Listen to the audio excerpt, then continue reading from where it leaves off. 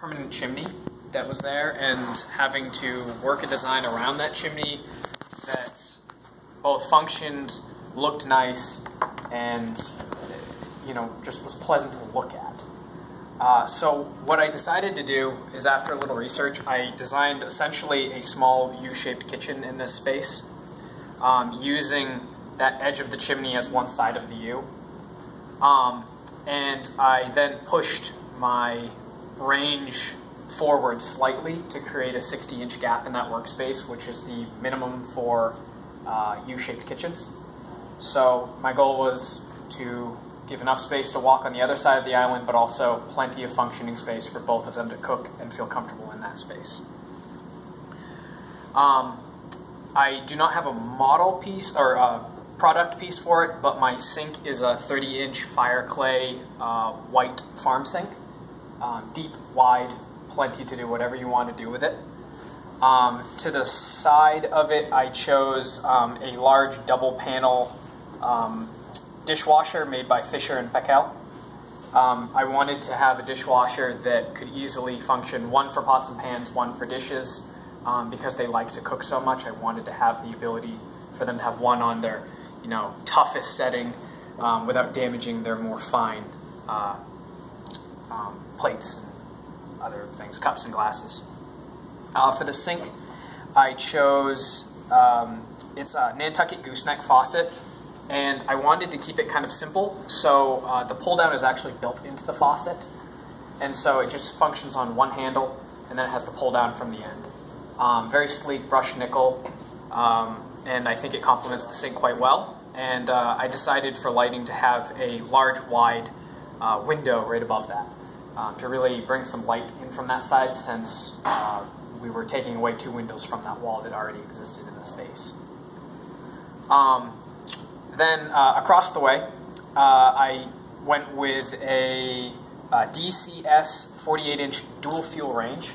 Um, like I said, it runs four convection burners on one side, four gas on the other, two ovens underneath um, that are both gas, uh, as well as some storage. So uh, the whole hope with that was that uh, Mr. Jones could cook with any type of fuel that he liked, uh, especially because he specified that he wanted to try to incorporate that um, to the side of it. Um, I know myself, when I cook a lot, I like to cook with spices. But I don't necessarily want to go digging across my kitchen for my spices. And so I incorporated a fold down spice rack into the granite countertop. Um, it's just spring loaded underneath. Um, it'll hold anywhere between 24 and 36 different spices depending on size. Um, and so the hope there was that it was very easy to get to, right next to the oven where you're primarily using it um, but then could easily just be popped down when you didn't need it or you needed a little extra space next to your oven to put something, um, anything like that. And the top of it is actually granite as well, so when it comes down, all you see is a small stainless steel rim around it where it sits, and other than that, it blends right in.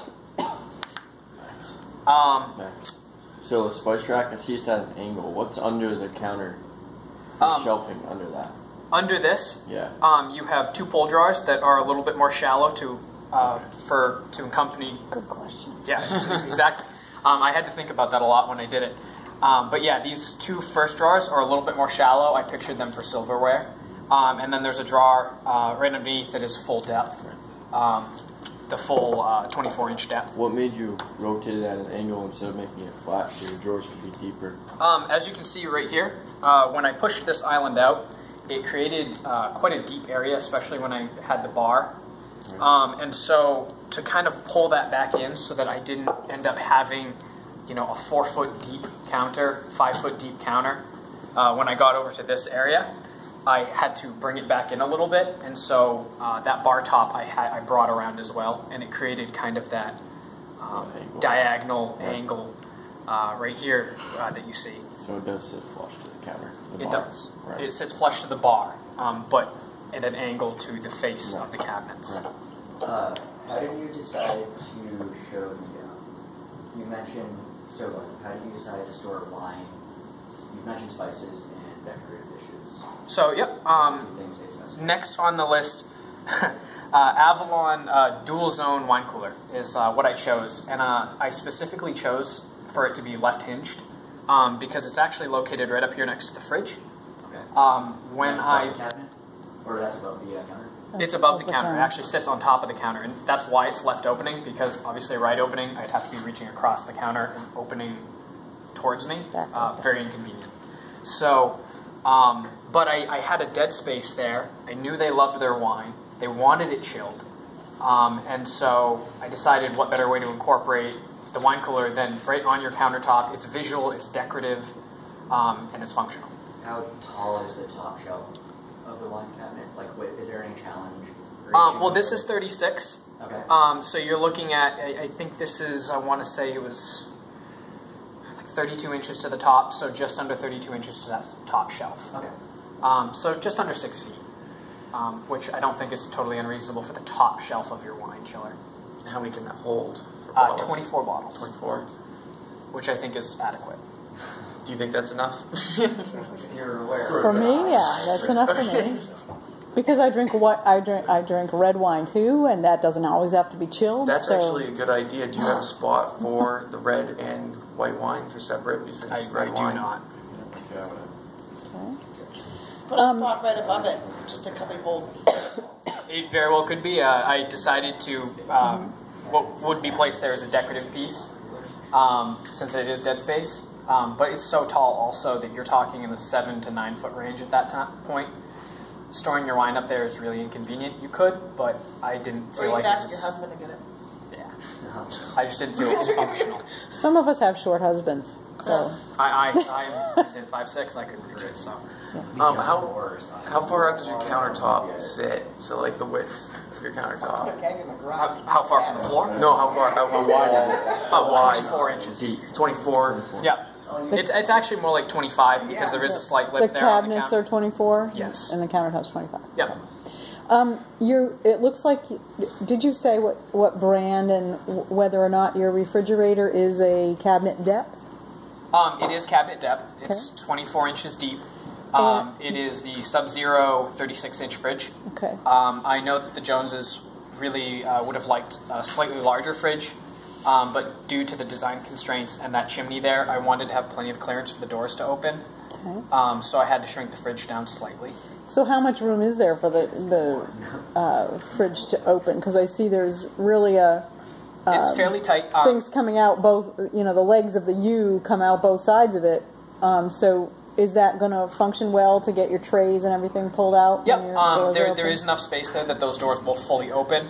Okay. Um, sadly, you probably won't get farther than, I'd guess, about 100 degrees um, when you open those doors, so just over 90. Um, but it will be plenty to function in the fridge.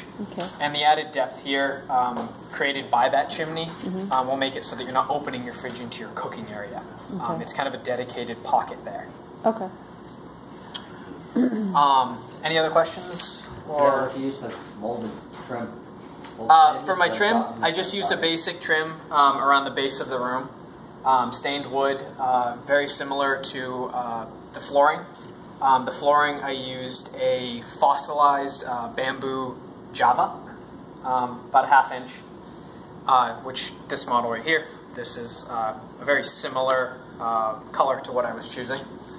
Um, you can see it a little bit in this picture, but to uh, tie in uh, a more rustic feel, uh, I chose to create uh, fake wood rafters through my kitchen, so that when you walked in, um, wood on the ceiling, wood on the floor, um, gave a very rustic feel. Uh, bright white cabinets, more modern, with your dark granite countertops. By fake, do you mean they're just not structural, or it's It is not structural. plastic It's decorative. wood, or Do they drop down from the original ceiling? Yes. So how It comes down about four inches from the original ceiling, so you still you're not exposing the actual joists in the ceiling, Okay. um, but it, it is uh, not structural, completely decorative. Okay. Are they? So in between Yes. the joists is are in between the fake joists are the beams are is the ceiling white in between them or is it all wood in between? Nope, it is uh, it is just a slight off shade of my walls, which Okay. um, the name sounds uh, amusing, but it's a ponytail is what it's called. So uh, made by Olympic. So uh, and I felt that was a very warm uh, color. So and then um, I guess to continue past that, uh, I decided for the accent piece, which was the tiling, the backsplash, Um, I went with this, which is a um, Fairmount beach mosaic tile um, that I felt had browns hues that tied in with my granite, um, but also was just the right shade off from my walls that it didn't clash. Um, and it also the wood complemented. I wanted a warm, uh, kind of cozy feel that is very uh, tied to that Tuscan Italian, um, but also having those contrasts of whites and blacks that felt more modern as well. How did you choose to address the um, the parties and like the gatherings? I see a small table. Uh, Yep. How, how big is the table and how many does it seat? Um, the table only seats three. Okay. Um, so my uh, my big challenge with the seating in general was uh, that this kitchen is relatively small, um, and it is right adjacent to the living room. So what I felt was the best way to handle this was my bar can handle two to three people, and then my uh, seating can handle also three, maybe four if you pull that table out. Um, so generally, you can seat about seven people, and then you have the living room off to the side that can also host people as well. So um, the seating was quite a challenge, but I felt giving the Joneses a small formal dining area, which they would have liked just for themselves and maybe a grandchild later on or a guest, um, but not creating a massive table that takes up the entire space um, that would only be used when they're hosting massive events, and then otherwise would be a decorative piece in this room uh, that really took up a lot of critical space that could be used for other things.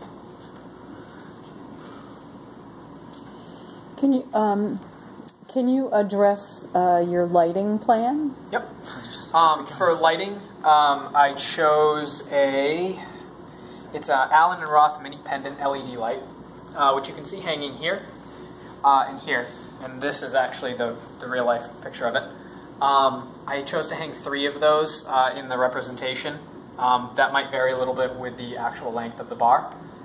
Um, but the idea was that I wanted some direct lighting down on the bar where I imagined most of the eating would happen. Um, and then throughout the room, I decided to use an inset um, brushed nickel LED light that would be hidden um, between those fake rafters.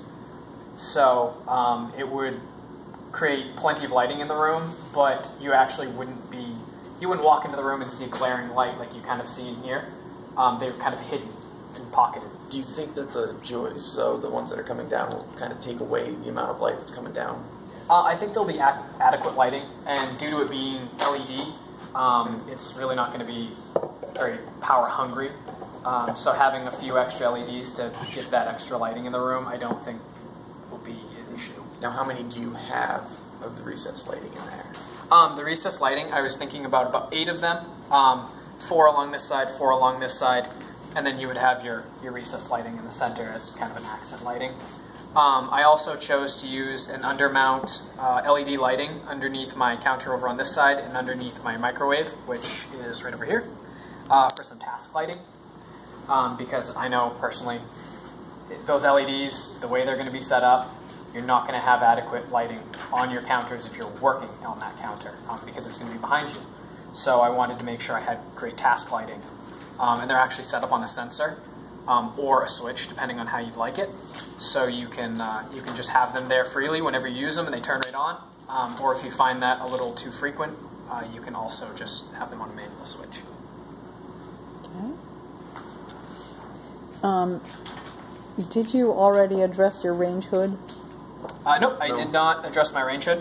Um, I, am planning to have a custom range hood made.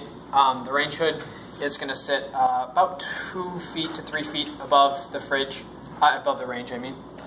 Um, it's just, I'm going to try to hide it up away from the range because it's centrally located in the room. Um, my concern was that it was going to become this focal point within the room that I really did not want it to be. Uh, so the idea is to try to push it up away from the range um, and hide some of that um, duct that comes up from it into those fake rafters. Um, I checked the joist plan and um, it's actually going to go up into the ceiling and through the joist out to the end of the building. Uh, so a lot of that vent work will be hidden. Uh, it won't be obnoxious. You won't have to see it. Uh, anything like that. So, and uh, as far as the microwave that's being used, um, very basic um, wall-mounted microwave unit. You know, nice stainless steel finish, black trim. um, but nothing